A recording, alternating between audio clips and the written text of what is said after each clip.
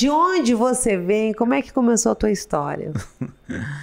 eu vim de Pernambuco, é, vim para São Paulo em 1997, né?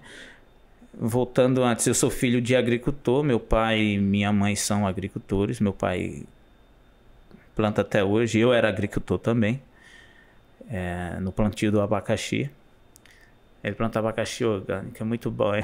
É, isso tudo no interior de Pernambuco. No interior de Pernambuco, a gente não, é, a gente não tinha, nem vizinho nós tínhamos. Nós somos do sítio, eu falo, ó, nós somos o matuto do mato, o bichinho do mato lá mesmo, que saiu do meio do mato, que não tinha energia elétrica, fomos criados à luz de candeeiro.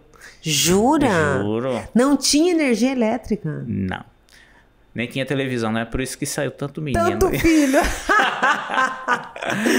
Curtiu? Quer ver mais? Corre lá no nosso canal do YouTube. Tem vídeo todo dia.